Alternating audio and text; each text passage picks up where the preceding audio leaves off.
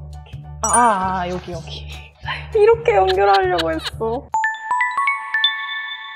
안녕 친구들 슬비예요. 오늘은 가죽콩의 가방 만들기를 해볼 거예요. 그럼 준비물을 알아볼까요?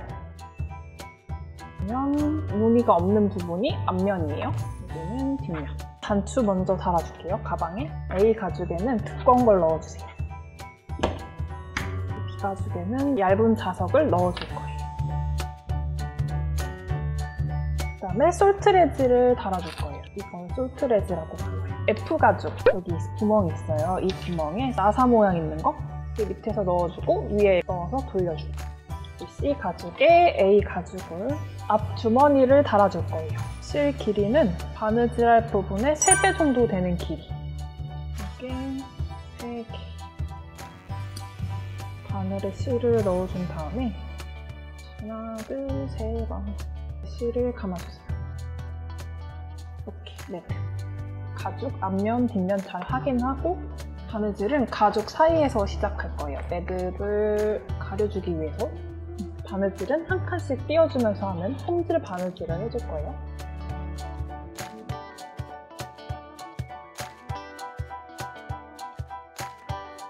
매듭은 가죽 사이에서 안 보이게 넣어줘야 돼요. 다음으로는 여기 D 가죽 위에 E 가죽을 이렇게 겹쳐서 여기를 바느질을 해줄 거예요.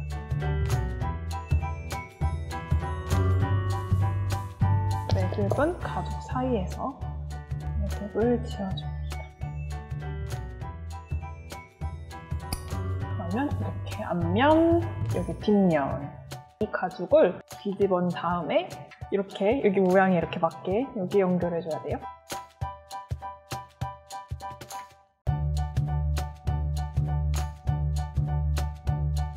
여기서 이 바늘 구멍이 두 개가 있는데 이게 안쪽에 있는 그러면 이렇게 대각선으로 바느질이 됐어요. 여기는 벌어지는 부분이라서 한 번 더 바느질을 해줄게요. 이렇게 두 번. 그 다음에 계속 쭉 다시 돌아가면서 바느질을 해주면 돼요.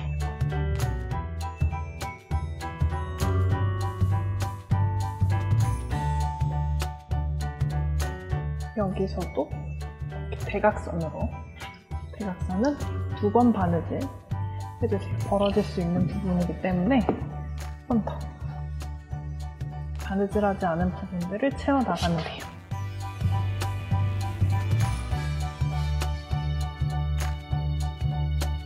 여기도 가죽 사이에서 매듭을 지어줄게요. 사이에 넣어주고 됐습니다. 가방 앞면, 뒷면, 옆면 다 연결해 줄 건데 D 가죽이랑 이 F 가죽 이렇게 연결해 줄 거예요. 겹쳐서 하면 편해요. 여기도 가죽 사이에서 시작을 할게요. 이 부분은 또 가죽이 벌어지는 부분이라서 한번 감아주고 시작을 할게요.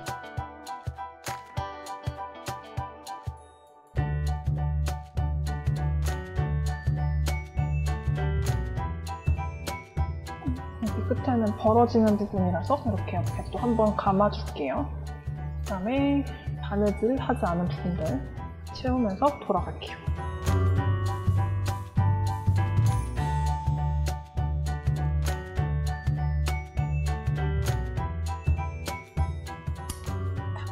이제 쪽 앞면을 이렇게 연결해 줄 거예요.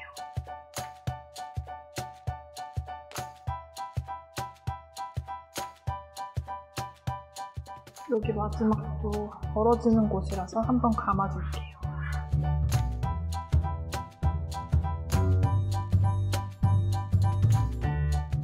이렇게 끝에도 한번 감아주세요. 가죽 끈을 달아줄 건데 솔트레지가 달려있지 않은 곳에 이 짧은 가죽을 넣어주세요. 구멍에 넣고 긴 가죽끈도 보면은 여기 타공이 뚫려 있는 곳이 있어요. 네, 이렇게 맞춰서 같이 이 세 겹을 바느질 해줄 거예요.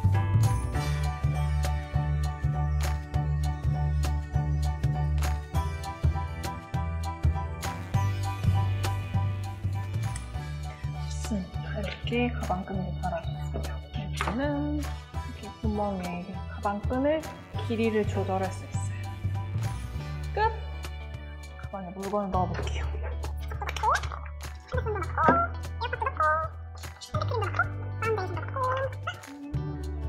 가죽 가방 완성!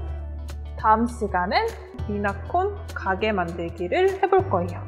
다음 시간에 만나요. 안녕!